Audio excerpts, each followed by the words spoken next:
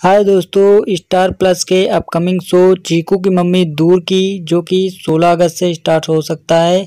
इसकी updated star cast आ चुकी है तो मैं आपको इस स्टार कास्ट के बारे में बताऊँ।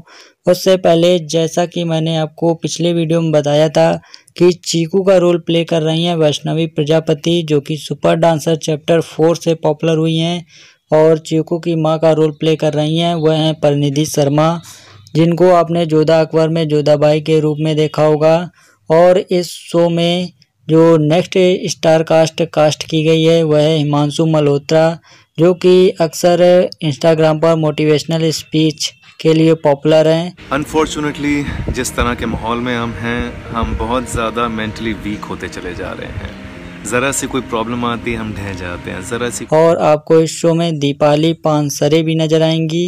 और सबसे ज़्यादा अच्छी बात यह है कि दंगल के व्यूवर्स जो हैं उनके प्रेम बंधन सीरियल जो कि बहुत ही पॉपुलर था उसमें वंदना का रोल प्ले करने वाली मोनिका खन्ना भी नज़र आने वाली हैं Khanna. I hope everybody safe, sound, and I'm gonna take it very soon. But और इस शो में स्टार प्लस के ही पॉपुलर शो कुल्फी कुमार बाजेवाला में कुल्फी के भाई का रोल प्ले करने वाले वेदांत खोटी भी नज़र आएँगे और इस शो में आपको इसे इसलिन प्रसाद नज़र आएँगी। इनके अलावा आपको डांसर कर्तव्य उपाध्याय नज़र आएँगे।